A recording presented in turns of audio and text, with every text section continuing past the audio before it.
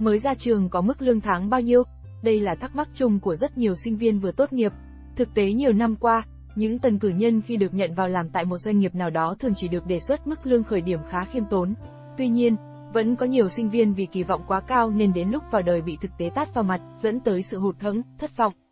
Mới đây, một sinh viên gây tranh cãi khi chia sẻ việc bản thân chán nản vì thực tế quá phũ phàng sau khi tốt nghiệp, là một sinh viên ngành ngôn ngữ chung, có bằng SSK5, chứng chỉ kiểm tra khả năng ứng dụng tiếng Trung của thí sinh, tương ứng với cấp độ 5 của tiêu chuẩn quốc tế về năng lực tiếng Trung. Nữ sinh này cho rằng, mình chỉ cần tìm đại công việc cũng có thể đòi hỏi lương đâu đó tầm 18 đến 25 triệu.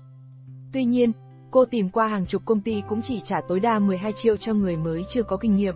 Muốn lên được mức mong muốn thì phải có tiếng Anh hoặc ngôn ngữ khác.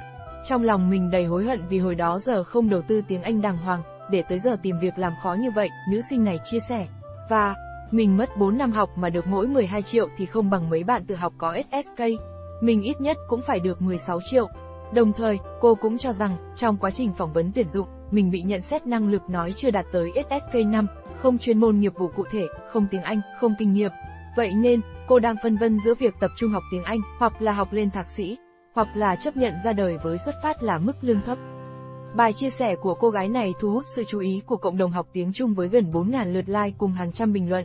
Hầu hết đều cho rằng, SSK5 đối với sinh viên mới tốt nghiệp không phải là mức lương thực tế, và việc tìm kiếm công việc phù hợp và phát triển kỹ năng là điều quan trọng trong quá trình bắt đầu sự nghiệp.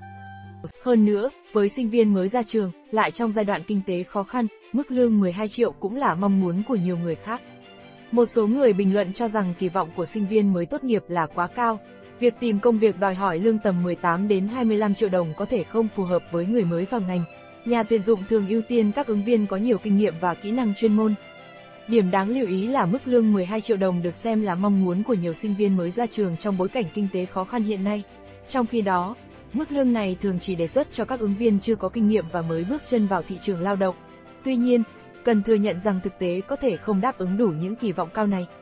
Có người đã chia sẻ rằng dù có IELTS 6.0, SSK5 và bằng cử nhân kinh tế quốc dân, khi mới ra trường họ chỉ nhận mức lương 8 đến 10 triệu đồng.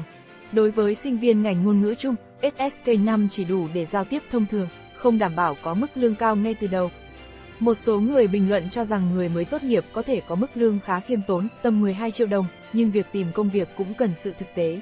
Cần nhận ra rằng nhiều sinh viên dù có tốt nghiệp với bằng cử nhân và ngoại ngữ thành thạo, nhưng vẫn chưa có đủ kinh nghiệm và kỹ năng chuyên môn để đòi hỏi mức lương cao. Lời khuyên từ những người có kinh nghiệm dành cho sinh viên mới ra trường là hãy bắt đầu đi làm, tìm hiểu mảng công việc phù hợp và trau dồi kỹ năng ở lĩnh vực đó.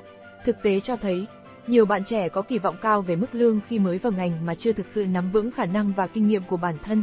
Tự tin về năng lực là một điều tốt, nhưng cần có thời gian và nỗ lực để phát triển và đạt được mục tiêu lương cao trong tương lai.